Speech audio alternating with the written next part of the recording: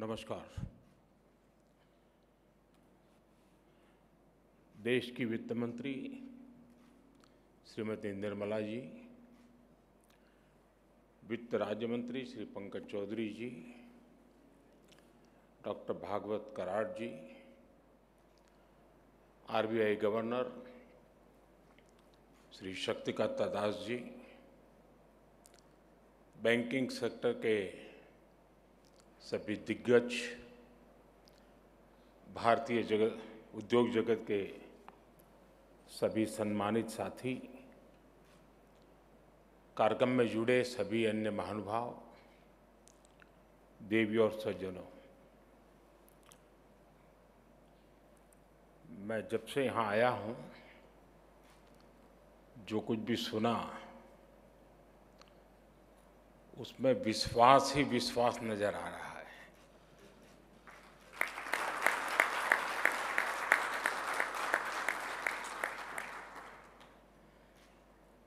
यानी हमारा confidence level इतना वाइब्रेंट हो, ये अपने आप में बहुत बड़ी संभावनाओं को संकल्प में परिवर्तित करते हैं और सब मिलकर के चले। तो संकल्प को सिद्धि प्राप्त करने में मैं नहीं मानता हूँ कि देर लगेगी। किसी भी देश की विकास यात्रा में एक ऐसा समय आता है जब वो देश नई छलांग के लिए नए संकल्प लेता है और फिर पूरे राष्ट्र की शक्ति उन संकल्पों को प्राप्त करने में जुट जाती है। अब आज़ादी का आंदोलन तो बहुत लंबा चला था। अठारह से तो विशेष रूप से उसको इतिहासकार एक सूत्र में बात करके भी देखते हैं। लेकिन 1942 और 1930 दांडी यात्रा और क्विट इंडिया। ये दो ऐसे टर्निंग पॉइंट थे जिसको हम कह सकते हैं कि वो एक ऐसा टाइम था जो देश को छलांग लगाने का मूड बनाया था। तीस में वो जो छलांग लगी, वो देश भर में एक माहौल बना दिया और 42 में जो दूसरी छलांग लगी, उसका परिणाम 1947 में आया। यानी जो मैं छलांग की बात कर रहा हूँ, आज़ादी के 75 साल। और अब ऐसी अवस्था में हम पहुँचे हैं कि सच्चे अर्थ में ये छलांग लगाने के लिए ज़मीन मज़बूत है, टारगेट तय है, बस चल पड़ना है।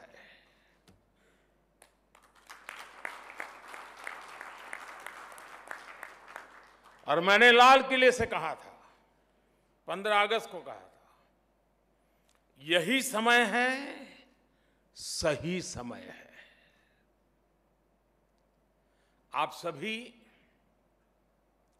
नेशन बिल्डिंग के इस महायज्ञ के प्रमुख स्टेक होल्डर्स हैं। और इसलिए भविष्य की तैयारियों को लेकर आपका संवाद, ये दो दिवस का आपका मंथन, आपने मिल बैठ करके जो एक रोड मैप सोचा होगा, आपने जो निर्णय किए होंगे, मैं समझता हूँ सारी बातें अपने आप में बहुत महत्वपूर्ण है। साथियों, सरकार ने बीते छह सात वर्षों में बैंकिंग सेक्टर में जो रिफॉर्म्स किए, बैंकिंग सेक्टर का हर तरह से सपोर्ट किया। उस वजह से आज देश का बैंकिंग सेक्टर बहुत ही मज़बूत स्थिति में है।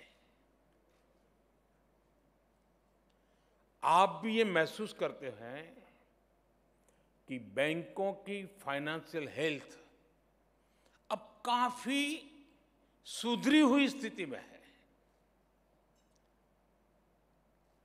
2014 के पहले की जितनी भी परेशानियाँ थी, जितनी भी चुनौतियाँ थी, हमने एक एक करके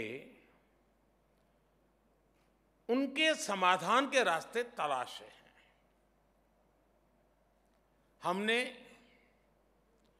एनपीएस की समस्या को एड्रेस किया, बैंकों को रिकैपिटलाइज किया, उनकी ताकत को बढ़ाया। हम आईबीसी जैसे रिफॉर्म्स लाए, अनेक कानूनों में सुधार किए डेट रिकवरी ट्रिब्यूनल को सशक्त किया।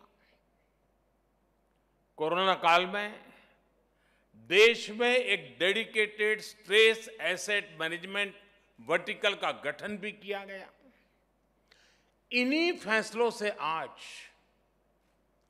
बैंकों की रिजोल्यूशन और रिकवरी बेहतर हो रही है। बैंकों की स्थिति मज़बूत हो रही है और एक इनहरेंट स्ट्रेंथ उसके भीतर पाई जा रही है। सरकार ने जिस पारदर्शिता और प्रतिबद्धता के साथ काम किया है, उसका एक प्रतिबिंब बैंकों को वापस मिली राशि भी है।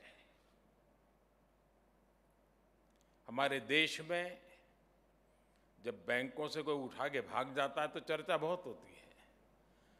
लेकिन कोई दम वाली सरकार वापस लाती है तो इस देश में कोई चर्चा नहीं करता है।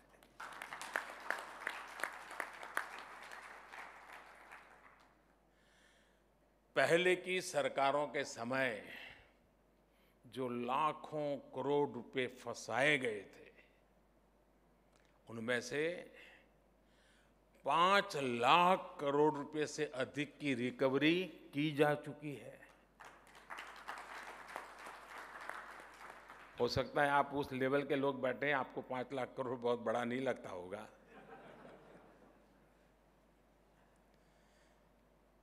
क्योंकि जिस प्रकार से एक सोच बनी हुई थी,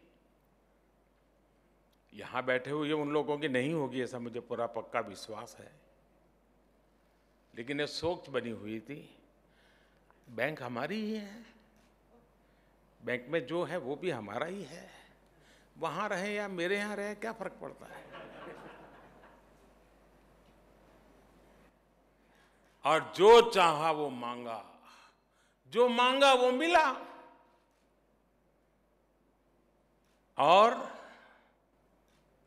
बाद में पता नहीं था कि 2014 में देश निर्णय कुछ और कर देगा। सारी स्थितियाँ साफ़ हो गई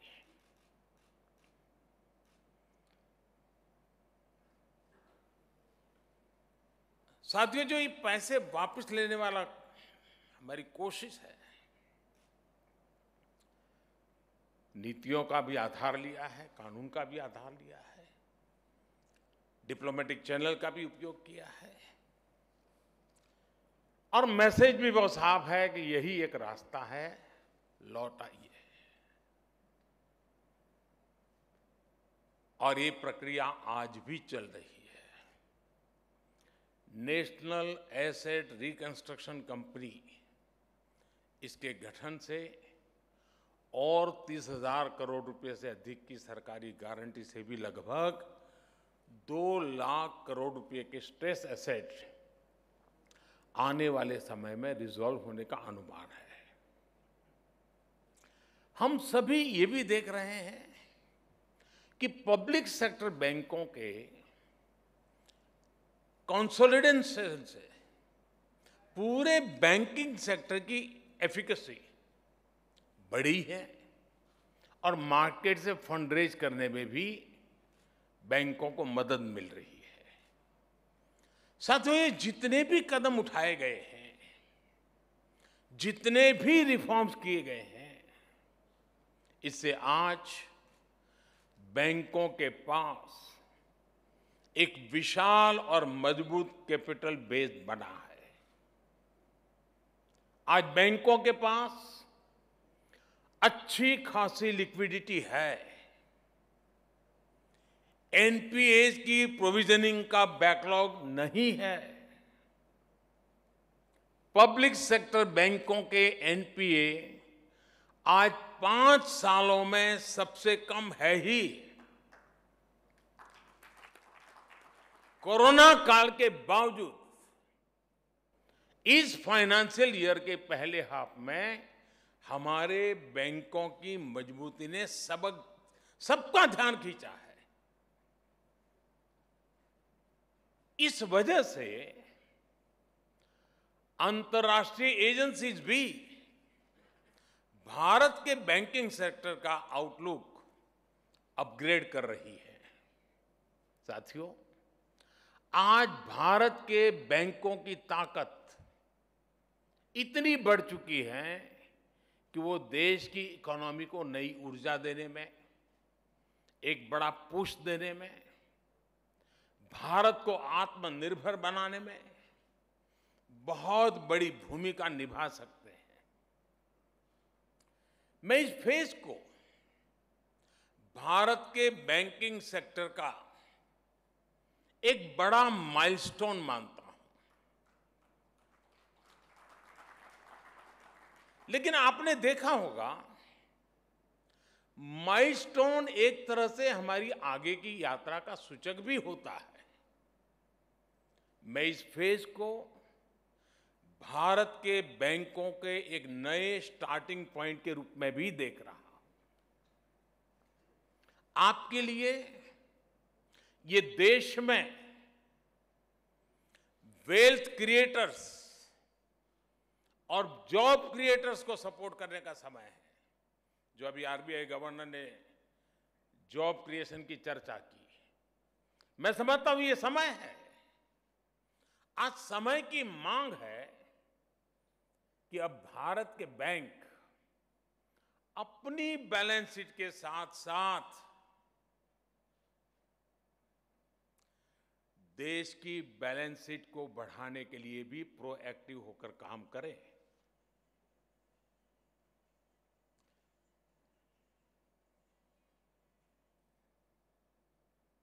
कस्टमर आपके पास, आपकी ब्रांच में आए, ये इंतज़ार मत कीजिए।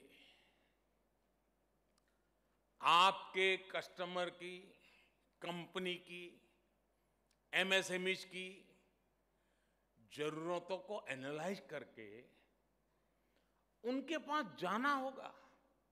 उनके लिए कस्टमाइज सॉल्यूशन देने होंगे। जैसे मैं उदाहरण देता हूँ कि उत्तर प्रदेश के बुंदेलखंड इलाके में और तमिलनाडु में दो डिफेंस कॉरिडोर बने। अब सरकार तेज़ी से वहाँ काम कर रही है। क्या उस कॉरिडोर के आसपास जुड़ी हुई जितनी बैंक ब्रांचेज है, क्या कभी उनको आपने बुलाया, उनसे मीटिंग की? कि भाई डिफेंस कॉरिडोर बन रहा है मतलब एक पूरा डिफेंस का नया सेक्टर यहाँ आ रहा है। बैंक प्रोएक्टिवली क्या कर सकती है? डिफेंस कॉरिडोर आने से ये ये चीज़ आने की संभावना है। कौन कौन कैप्टन्स हैं जो इसमें आएँगे? कौन छोटे छोटे छोटे चेन होंगे एमएसएमईज होंगे, जो इसकी सपोर्ट सिस्टम में आएँगे? इसके लिए हमारा बैंक का अप्रोच क्या होगा? प्रोएक्टिव अप्रोच क्या होगा? हमारी अलग अलग बैंकों के बीच में कंपटीशन कैसे होगी? द बेस्ट सर्विसेज़ कौन देता है? तब तो जाकर के भारत सरकार ने जिस डिफेंस कॉरिडोर की कल्पना की है, उसको धरती पर उतारने में विलंब नहीं लगेगा। लेकिन ठीक है भाई, सरकार ने डिफेंस कॉरिडोर बनाया है, लेकिन मेरा तो उसी पर ध्यान है। क्यों? और 20 साल से हमारा एक वेल सेटल्ड क्लाइंट है, चल रही है गाड़ी, बैंक भी चल रही है, उसका भी चल रहा है, हो गया। तो इससे होने वाला नहीं है। साथियों, आप अप्रूवर हैं और आपने सामने वाला एप्लीकेंट है। आप दाता है और सामने वाला याचक इस भावना को छोड़कर अब बैंकों को पार्टनरशिप का मॉडल अपनाना होगा। जैसे अब बैंक ब्रांच के स्तर पर ये लक्ष्य तय किया जा सकता है कि वो अपने क्षेत्र के 10 नए युवाओं या 10 लघु उद्यमियों के साथ मिलकर उनका व्यापार बढ़ाने में मदद करेगी। मैं जब स्कूल में पढ़ता था, उस जमाने में बैंकों का राष्ट्रीयकरण नहीं हुआ था।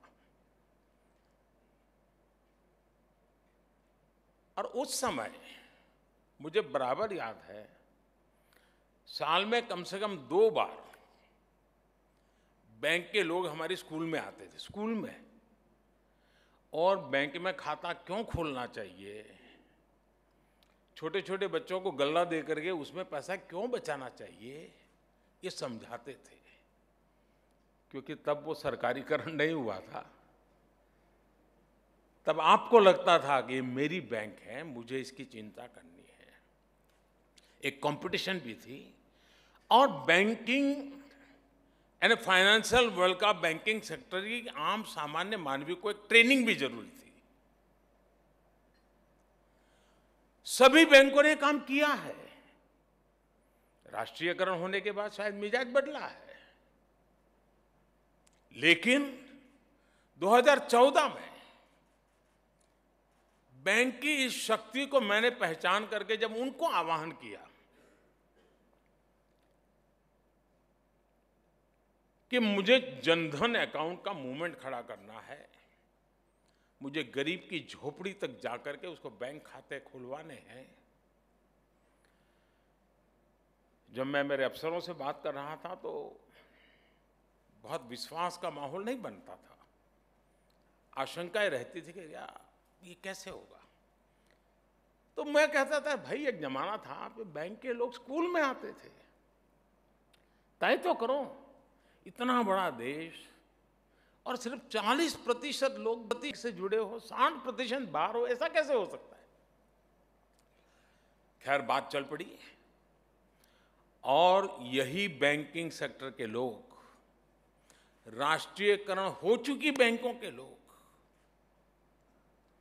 जो बड़े बड़े उद्योगपतियों के साथ ही बैठने की आदत बन चुके थे वो लोग, जब देश के सामने एक लक्ष्य रखा कि हमें जन धन अकाउंट खोलना है, मैं आज गर्व के साथ सभी बैंकों का उल्लेख करना चाहूँगा, सभी बैंकों के हर छोटे मोटे मुलाजिम का उल्लेख करना चाहूँगा, जिन्होंने इस सपने को साकार किया और जनधन अकाउंट फाइनेंशियल इंक्लूजन की दुनिया में, दुनिया के सामने एक बेहतरीन उदाहरण बन गया।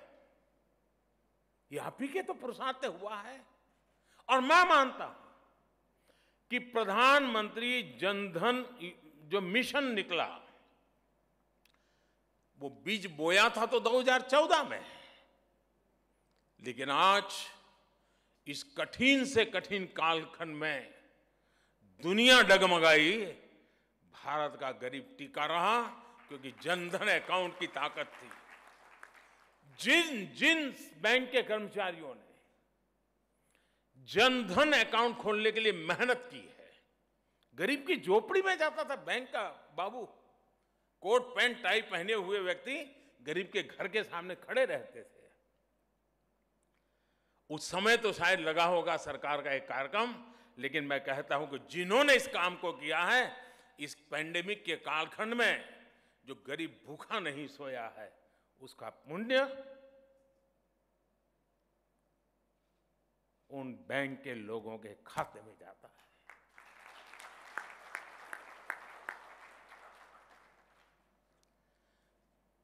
कोई काम, कोई पुरुषार्थ कभी भी बेकार नहीं जाता है एक सच्ची सोच के साथ सत्य निष्ठा से किया हुआ काम एक कालखंड आता है जब परिणाम देता है और जनधन अकाउंट कितना बड़ा परिणाम देता है, हम देख रहे हैं।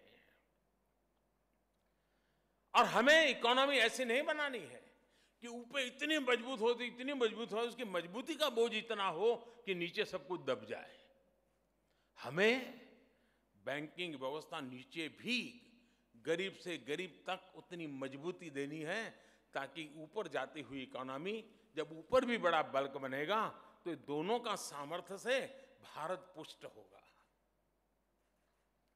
और मैं मानता हूँ कि हमने उसी एक सोच के साथ करना था अब कल्पना कर सकते हैं कि जब स्थानीय व्यापारियों को यह एहसास होगा कि बैंक और उसके कर्मचारी उनके साथ खड़े हैं, मदद के लिए खुद उनके पास आ रहे हैं तो इनका आत्मविश्वास कितना बढ़ जाएगा? आपके बैंकिंग के अनुभवों का भी उन्हें बहुत लाभ होगा। साथियों, मैं जानता हूँ कि बैंकिंग सिस्टम की हेल्थ के लिए ये बहुत ज़रूरी है कि वायबल प्रोजेक्ट ही पैसा लगाएँ।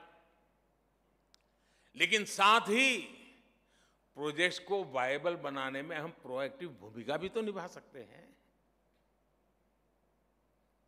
वायबिलिटी के लिए कुछ एक ही रीजन नहीं होते हैं। हमारे जो बैंक के साथी हैं, वो एक और काम कर सकते हैं। आपको एक भली भांति पता होता है कि आपके क्षेत्र में किस किस की आर्थिक क्षमता कितनी है। ब्रांच के नज़र के दायरे में बाहर नहीं होता है। वो उस धरती की ताकत को जानता है। आज जो पाँच करोड़ रुपए का लोन आपसे लेकर जा रहा है, ईमानदारी से समय पर लौटा रहा है, आप उसकी क्षमता बढ़ाने में भी तो मदद कर सकते हैं। आज जो पाँच करोड़ रुपए का लोन लेकर बैंक को वापस कर रहा है, उसमें कल को कई गुना ज़्यादा लोन लेकर लौटाने का सामर्थ्य पैदा हो, इसके लिए आपको उसे आगे चढ़ करके, बढ़ चढ़ करके सपोर्ट करना चाहिए।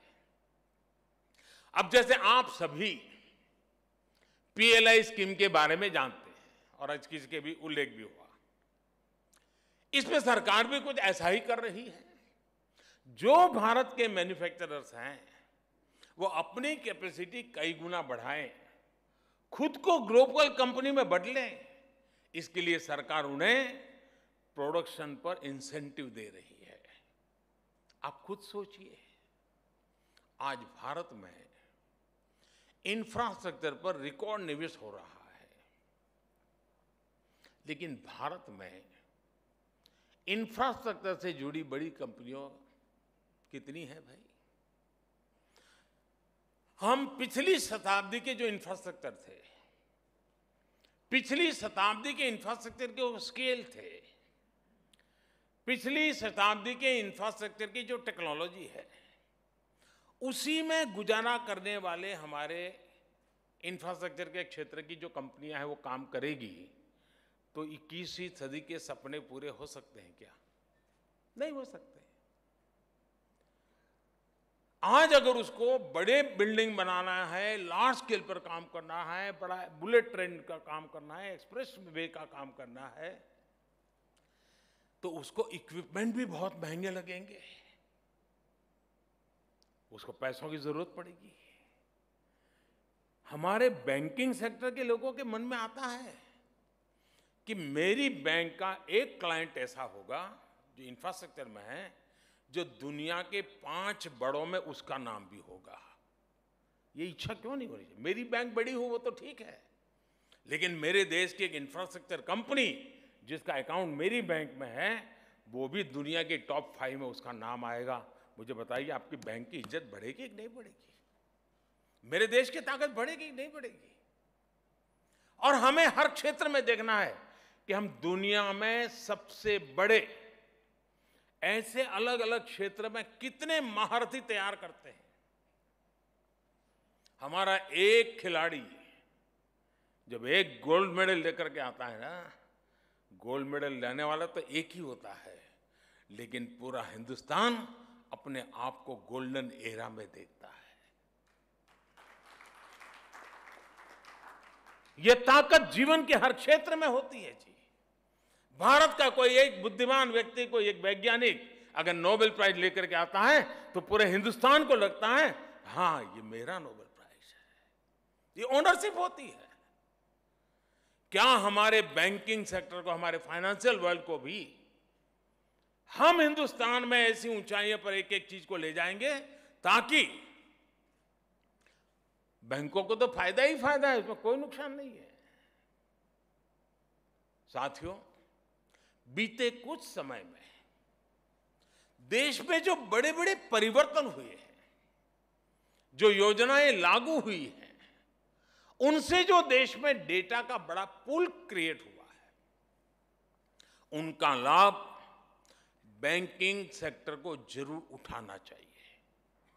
जैसे मैं जीएसटी की बात करूँ तो आज हर व्यापारी का पूरा ट्रांजैक्शन पारदर्शिता से होता है। व्यापारी की कितनी क्षमता है, उसका व्यापार कहाँ कहाँ फैला हुआ है, उसकी कारोबारी हिस्ट्री कैसी है, इसका अब मज़बूत डेटा देश के पास उपलब्ध है। क्या इस डेटा के आधार पर हमारे बैंक उस व्यापारी के सपोर्ट के लिए खुद उसके पास नहीं जा सकते क्या? तो भाई तुम्हारा अच्छा कारोबार चल रहा है, चल और बढ़ाओ, चल बैंक तुम्हारे पास तैयार है, अरे हिम्मत करो यार, आगे निकलो। वो चार काम और अच्छे करेगा, दस लोगों को रोज़गार देगा। ऐसे ही मैं आपके बीच, जैसे मैंने अभी डिफेंस कॉरिडोर की बात कही मैं भारत सरकार के एक स्वामित्व योजना का भी ज़िक्र करना चाहूँगा। और मुझे पक्का विश्वास है, हमारे बैंक के साथियों ने इस स्वामित्व योजना के संबंध में सुना होगा।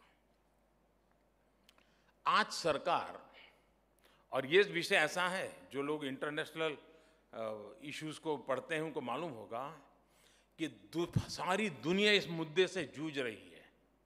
स्वामित्व के मुद्दे से। सारा विश्व भारत ने रास्ता खोजा है और हो सकता है हम रिज़ल्ट पे ले आएँगे। ये है क्या? आज सरकार टेक्नोलॉजी की मदद से, ड्रोन से मैपिंग कराकर देश के गांव-गांव में लोगों को प्रॉपर्टी की ऑनरशिप के पेपर दे रही है परंपरागत रूप से वो लोग उस घर में रह रहे हैं। कागज़ नहीं उसके पास। प्रॉपर्टी के ऑफिशियल डॉक्यूमेंट नहीं है। और उसके कारण उसको उन घर का उपयोग किसी को किराए पर देने का लिए तो काम आ सकता है और किसी काम में नहीं आता है। अब इस स्वामित्व के ऑनरशिप के पेपर जब उसके पास है ऑथेंटिक गवर्नमेंट ने दिए है, क्या बैंकों को लगता है कि चलो अब उसके पास व्यवस्था है? अब मैं गाँव के इन लोगों को जिसके पास अपनी संपत्ति, उसके आधार पर उसको कुछ पैसे देने की मैं ऑफ़र करूँ, मैं समझाऊं, देखो, तुम्हारे खेत में ये करना है तो तुमको थोड़ी मदद करता हूँ, तुम ये कर सकते हो। तुम हैंडीक्राफ्ट के काम करते हो? गाँव के अंदर लोहार हो, सुथार हो, मैं पैसे देता हूँ, तुम ये काम कर सकते हो। अब तेरे घर के ऊपर तुम्हें पैसे मिल सकते हैं। देखिए ऑनरशिप के पेपर्स बनने के बाद बैंकों के लिए, गाँव के लोगों को, गाँव के युवाओं को कर्ज देना अब और सुरक्षित हो जाएगा। लेकिन मैं ये भी कहूँगा कि जब बैंकों की वित्तीय सुरक्षा बढ़ी है तो बैंकों को भी गाँव के लोगों को सपोर्ट करने के लिए खुद आगे बढ़कर के आना होगा। अभी आवश्यक है। हमारे देश में एग्रीकल्चर सेक्टर में इन्वेस्टमेंट बहुत कम होता है। कॉरपोरेट वर्ल्ड का इन्वेस्टमेंट तो करीब करीब न के बराबर है। जबकि फ़ूड प्रोसेसिंग के लिए बहुत संभावना है। दुनिया में बहुत बड़ा मार्केट है। गाँव में फ़ूड प्रोसेसिंग इंडस्ट्री एग्रीकल्चर से जुड़ी मशीनरी सोलर से जुड़े काम, अनेक नए फ़ील्ड तैयार हो रहे हैं जहाँ आपकी मदद गाँव की तस्वीर बदल सकती है। इसी तरह एक और उदाहरण स्वनिधि योजना का भी है। प्रधानमंत्री स्वनिधि योजना की वजह से हमारे जो रेहड़ी पटरी वाले भाई और बहन है, पहली बार बैंकिंग सिस्टम से जुड़े हैं। अब उनकी भी डिजिटल हिस्ट्री बन रही है। बैंकों को इसका लाभ उठाते हुए ऐसे साथियों की मदद के लिए और ज़्यादा आगे आना चाहिए। और मैंने बैंकों से भी आग्रह कहा है और मेरे यहाँ अर्बन मिनिस्ट्री को भी आग्रह कहा है और मैंने सभी मेयर्स को भी आग्रह किया है कि आपके नगर के अंदर ये जो रेडी पटरी वाले हैं, उनको मोबाइल फ़ोन पर डिजिटल ट्रांजेक्शन सिखाइए। वो थोक में माल लेगा, वो भी डिजिटली लेगा, वो बिक्री करेगा तो भी डिजिटली करेगा। और ये सब कोई मुश्किल काम नहीं, हिंदुस्तान ने करके दिखाया है अब तो। उसकी अपनी हिस्ट्री तैयार होगी। आज उसको पचास हज़ार दिया है, कल आप उसको अस्सी हज़ार दे सकते हैं, परसों डेढ़ लाख रुपए दे सकते हैं, उसका कारोबार बढ़ता चले जाएगा। वो ज़्यादा सामान खरीदेगा ज़्यादा सामान बेचेगा, एक दो, एक गाँव में कर रहा तो तीन गाँव में करना शुरू कर देगा। साथियों, आज जब देश फाइनेंशियल इंक्लूजन पर इतनी मेहनत कर रहा है, तब नागरिकों के प्रोडक्टिव पोटेंशियल को अनलॉक करना बहुत ज़रूरी है। और मैं अनलॉक करना यहाँ तीन चार बार सुन चुका हूँ। जैसे अभी बैंकिंग सेक्टर की ही एक रिसर्च में सामने आया है आप ही की तरफ़ से आया है कि जिन राज्यों में जनधन खाते जितने ज़्यादा खुले और जितने ज़्यादा जनधन खाते जीवंत है, गतिविधि लगातार उन जनधन खातों में चल रही है बैंकों का रिपोर्ट एक नई बात लेकर के आया है और जो सुनकर के मुझे खुद को आनंद हुआ कि बैंक का रिपोर्ट कह रहा है कि इसके कारण क्राइम रेट कम हुए हैं। यानी बैंक वाले ने कभी सोचा नहीं होगा कि मैं पुलिस का भी काम कर रहा हूँ। लेकिन बाय प्रोडक्ट है। एक हेल्दी सोसाइटी का एटमॉस्फेयर क्रिएट हो रहा है। एक जनधन अकाउंट किसी को क्राइम की दुनिया से बाहर ले आता है, इससे बड़ा ज़िंदगी का पुण्य क्या होता है इससे बड़ी समाज की सेवा क्या होती है? यानी बैंकों का जब स्थानीय लोगों से कनेक्ट बढ़ा, जब लोगों के लिए बैंकों के दरवाजे खुले तो इसका प्रभाव लोगों के जीवन जीने के तरीके पर भी आया। बैंकिंग सेक्टर की इस ताकत को समझते हुए ही मैं समझता हूँ कि हमारे बैंकिंग सेक्टर के साथियों को आगे बढ़ना है। मैं जानता हूँ, यहाँ जो लोग बैठे हैं, उनसे संबंधित बातें मैं नहीं बोल रहा हूँ। क्योंकि यहाँ जो प्रतिनिधि आए थे, उन्होंने अपनी बात बताई, मैं दूसरों का प्रतिनिधित्व की बात बता रहा हूँ। लेकिन करने वाले बैंकिंग सेक्टर के है, इसलिए मेरी सारी बातचीत का सेंटर पॉइंट मेरा बैंकिंग सेक्टर है। उसके लीडर्स हैं। पब्लिक बैंक हो या प्राइवेट सेक्टर के बैंक जितना हम नागरिकों में इन्वेस्ट करेंगे, उतना ही नए रोज़गार का निर्माण होगा। उतना ही देश के युवाओं को, महिलाओं को, मध्यम वर्ग को लाभ होगा। साथियों, हमने आत्मनिर्भर भारत अभियान के दौरान जो ऐतिहासिक रिफॉर्म्स किए उन्होंने देश में नई संभावनाओं के द्वार खोले हैं। आज कॉरपोरेट्स और स्टार्टअप्स जिस स्केल पर आगे आ रहे हैं, वो अभूतपूर्व है। ऐसे में भारत की एस्पिरेशंस को मज़बूत करने का फंड करने का, उनमें इन्वेस्ट करने का इससे बेहतरीन समय क्या हो सकता है दोस्तों? भारत में, और ये बात हमारे बैंकिंग सेक्टर को भी समझना ही होगा। भारत में ये आइडियाज़ पर इन्वेस्टमेंट का दौर है। स्टार्टअप्स को सपोर्ट करने का दौर है। स्टार्टअप मूल में एक आइडिया होता है। आप उसको पूछने जाओगे एसेट क्या है? फलाना कुछ नहीं होता है, आइडिया होता है। साथियों, आपके पास रिसोर्स की कोई कमी नहीं है। आपके पास डेटा की कोई कमी नहीं है। आप जो रिफॉर्म चाहते थे, वो सरकार ने किया भी है और आगे भी करती रहेगी। अब आपको राष्ट्रीय संकल्पों के साथ राष्ट्रीय लक्ष्यों के साथ खुद को जोड़कर आगे चलना है। मुझे बताया गया है कि मंत्रालयों और बैंकों को एक साथ लाने के लिए, अभी हमारे सचिव महोदय भी उल्लेख कर रहे थे, web based project funding tracker बनाना तय हुआ है। अच्छी बात है। काफ़ी सुविधा बढ़ेगी उसके कारण। लेकिन मेरा उसमें एक सुझाव है।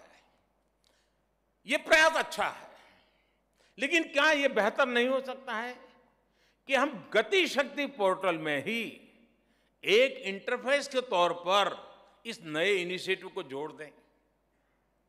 आज़ादी के समृद्ध काल में भारत का बैंकिंग सेक्टर बिग थिंकिंग और इनोवेटिव अप्रोच के साथ आगे बढ़ेगा। साथियों, एक और विषय है जिसमें अगर हम देर करेंगे तो हम पीछे रह जाएँगे। और वो है फिनटेक भारत के लोगों की हर नई चीज़ को एडप्ट करने की जो ताकत है ना, वो अद्भुत है जी। आज आपने देखा होगा कि फ्रूट बेचने वाले, सब्ज़ी बेचने क्यूआर कोड लगा करके बैठते हैं और कहते हैं, यहाँ पैसे मंदिरों में भी डोनेशन वाले क्यूआर कोड लगा दीजिए, चलेगा। मतलब कि फिनटेक की तरफ़ एक वातावरण बना है। क्या हम तय कर सकते हैं? और मैं तो चाहता हूँ रेगुलर कंपटीशन का एक वातावरण बने कि हर bank branch at least hundred ज़्यादा मैं नहीं कह रहा हूँ। Hundred hundred percent digital transaction वाले क्लाइंट होंगे और टॉप में से होंगे। ऐसा नहीं कि भी कोई हज़ार, दो हज़ार रुपया वाला आया और उसको आपने वैसे सौ जो बड़े बड़े हैं, हंड्रेड परसेंट वो डिजिटली करेगा। जो भी कारोबार करेगा, ऑनलाइन डिजिटली करेगा। दुनिया का सबसे बड़ा मज़बूत हमारे पास यूपीआई प्लेटफॉर्म है जी हम क्यों नहीं करते जी? अब हम ये सोचे हमारे बैंकिंग सेक्टर में, पहले क्या स्थिति थी? क्लाइंट आते थे, फिर हम एक टोकन देते थे। फिर वो नोटे लेके आता था, चार बार गिनते थे, यूँ यूँ करते रहते थे। फिर दूसरा भी गिन करके वेरीफाई करता था। फिर सही नोट है, गलत नोट है, उसमें दिमाग खपाते थे। यानी एक क्लाइंट 20 मिनट 25 मिनट, आधे घंटे से बड़ी मुश्किल से जाता था। आज मशीन काम कर रहा है नोट भी मशीन गिन रहा है, सारे काम मशीन कर रहे हैं। तो वहाँ तो आपको टेक्नोलॉजी का बड़ा मज़ा आता है। लेकिन आप अभी भी हम डिजिटल ट्रांजैक्शन इस विषय को किस बात के लिए संकोच करते मैं समझ नहीं पा रहा। नफा या घाटा, उसी के तनाजू से इस मिशन को मत सोचिए दोस्तों। ये जो छलांग लगाने का कालखंड है ना, उसमें फिनटेक भी एक बहुत बड़ी पटरी है, जिस पटरी से गाड़ी दौड़ने वाली है। और इसलिए मेरा आग्रह है, हर बैंक ब्रांच कम से कम सौ। ये आज़ादी के अमृत महोत्सव में इसको हम साकार करके रहे कि 2022-15 अगस्त के पहले इस देश में एक भी बैंक की ब्रांच नहीं होगी, जिसमें कम से कम 100 ऐसे क्लाइंट नहीं होंगे जो 100 परसेंट अपना कारोबार लेन देन डिजिटली न करते हो। अब देखिए बदलाव आपको पता चलेगा। जनधन ने जो ताकत का आपको अनुभव करवाया है, उससे अनेक गुना ताकत की अनुभूति छोटे छोटे सामर्थ्य से दिखेगी। हमने देखा है विमेन सेल्फ हेल्प ग्रुप मुझे लंबे समय तक राज्य में सेवा करने का मौका मिला।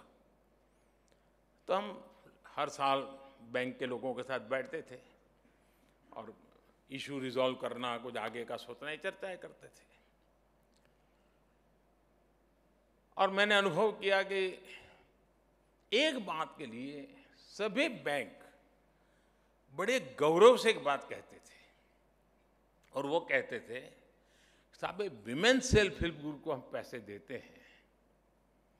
समय से पहले लौटाते हैं। पूरा का पूरा लौटा देते हैं। हमें कभी चिंता नहीं रहती। जब आपका इतना बढ़िया पॉजिटिव एक्सपीरियंस है तो इसको बल देने के लिए आपकी प्रोएक्टिव कोई योजना है क्या? हमारे विमेन सेल्फ हेल्प ग्रुप के पोटेंशियल इतना ज़्यादा है जी। हमारा इकोनॉमी का ग्रास रूट लेवल का एक बहुत बड़ा ड्राइविंग फोर्स वो बन सकते हैं। मैंने बड़े बड़े लोगों की बात नहीं की है, मैंने छोटे छोटे लोगों की बात की है कि मुझे पता है कि धरती पर फाइनेंस की आधुनिक व्यवस्थाएँ सामान्य नागरिक की आर्थिक मजबूती का बहुत बड़ा आधार बन सकती है। मैं चाहता हूँ इस नई सोच के साथ, नए संकल्प के साथ छलांग लगाने का मौका है ही है। ज़मीन तैयार है दोस्तों। और सबसे बड़ी बात जिसकी मैं बार बार कह चुका हूँ, बैंक वालों को पचास बार कह चुका हूँ, मैं आपके साथ हूँ।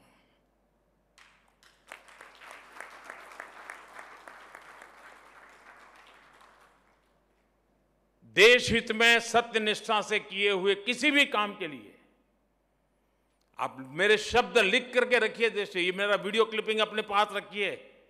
मैं आपके साथ हूँ, आपके पास हूँ, आपके लिए हूँ।